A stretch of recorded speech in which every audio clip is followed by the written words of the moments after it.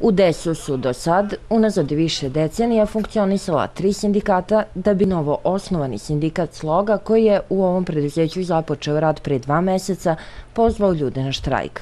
Prema rečima zaposlenih, DES je preduzeće koje ima posla, ima poručbine i sve uslove da sobstvenim radom opstane tržištu, i sindikata SIPOS koji nije ušao u štrajk kaže da su radna mesta i primanje u ovom preduzeću sigurna pod uslovom da se ne traži hleba preko pogače. Ja znam da trebaju pare, uh, ali mi je utisak takav uh, da se radi protiv ljudi koji daju posao, koji pomažu invalidsko preduzeće i od kojega, od kojega će sutra zavisiti isti ovi invalidi koji ostaju Ako idu sa tim zahtjevima koji oni traže, nema šanse da se ostane.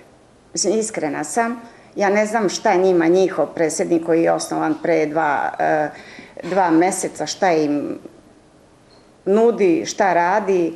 Evo, ja u komercijali sedim ovde, e, zovu stranke, šta da kažem, odbijam poslove, ne može da se uradi. S obzirom na to da veliki broj radnika nije pokazao spremnost da prati slogu u ovom štrajku, ovaj sindikat se prema rečima zaposlenih poslužio sredstvima koje bi se u najmanju ruku mogla nazvati upitnim.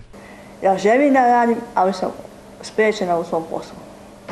Zbog štrajka? Zbog štrajka imam velike pretnje, napali su me par ljudi što ne štrajkujem, kolege, izbacio me kancelarije. Na sreću radnici u ovom dijalogu nisu prepušteni sami sebi i ostavljeni bez podrške a sindikati koji u ovom preduzeću imaju više decenijsku tradiciju i iskustvo u sindikalnom delovanju svojim kolegama iz sloge upućuju vrlo jasnu poruku. Da se politika ne meša u preduzeće, pogotovo ovako invalidsko da se ne kupuju poeni ni u preduzeću, ni van preduzeća na a, populaciji ovakvih ljudi. Pa to bili i u preduzeću i van preduzeća. To su sitni politički poeni. Ako je to politika, ali tu je država ja mislim da će ona to rešiti i da će utvrditi šta stoji se iza ovoga. Kako je za kraj rekla Milovanović, ako se ode na sajt ili Facebook sindikata Sloga, jasno se vidi ko stoji iza ovog štrajka i sa kojim motivima.